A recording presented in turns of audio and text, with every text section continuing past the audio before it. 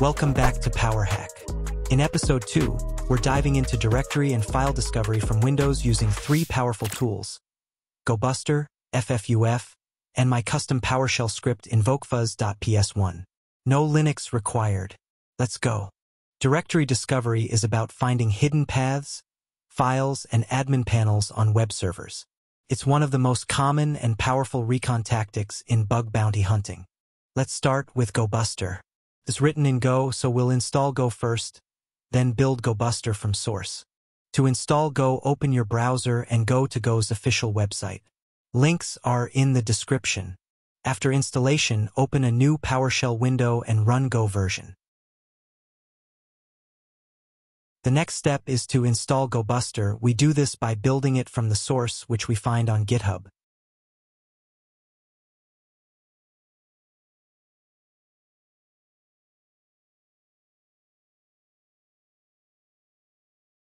Now you can run GoBuster from anywhere. Let's test it. Run the command GoBuster. H this will show the help page if everything was installed correctly. The various help sections are very good for understanding how to run GoBuster.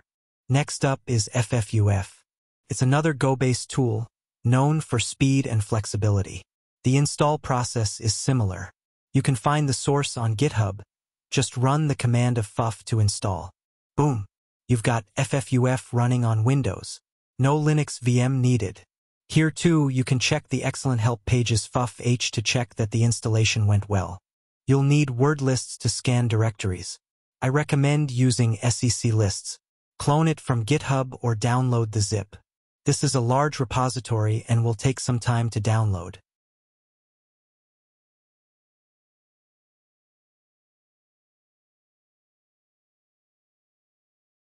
Let's run GoBuster against a test site. We'll use the common.txt word list from SecLists. I will be running this against my own web server to keep things ethical.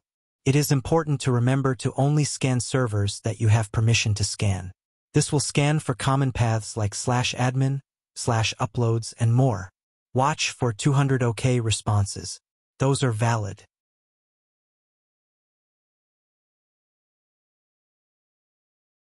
Now let's try the same thing with FFUF. Syntax is a bit different, but just as powerful.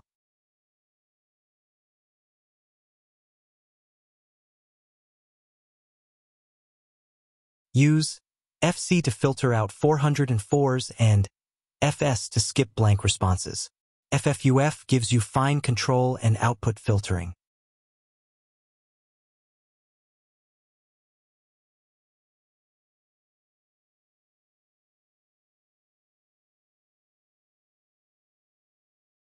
To wrap it up, here's something custom. Invoke fuzz.ps1.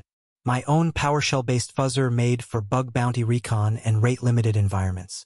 It's designed to be user-friendly, includes automatic rate limiting, clean output, and is fully written in PowerShell. You'll find it on my GitHub. But here's the thing, in bug bounty, blasting a target with 5,000 requests per second is a great way to get banned or worse, ignored. Many platforms enforce strict rate limits, and InvokeFuzz.ps1 was built with that in mind. Plays nice, stays within the rules, and gets the job done, even if it takes the scenic route. Think of it like a stealthy ninja, not the fastest, but it won't trip the alarms. If GoBuster is a bulldozer and FFUF is a race car, then InvokeFuzz is that quiet guy with the lockpick and a plan. That said, I still recommend you learn GoBuster and FFUF. They're amazing tools with tons of options, filters, and speed. But I wanted to show that yes, PowerShell can fuzz too. And this is just the beginning. And I'm actively working on improving it, along with more PowerShell tools for hackers. Got an idea for a script? Drop it in the comments, I'm listening. GoBuster versus FFUF pros and cons. GoBuster pros, simple and stable, very fast, easy to script in pipelines. GoBuster cons, fewer features compared to FFUF, less output customization. FFUF Pros, highly customizable, supports filters, recursion, and more, great for parameter fuzzing too. FFUF Cons, slightly more complex syntax, can be slower with verbose output. And that's it.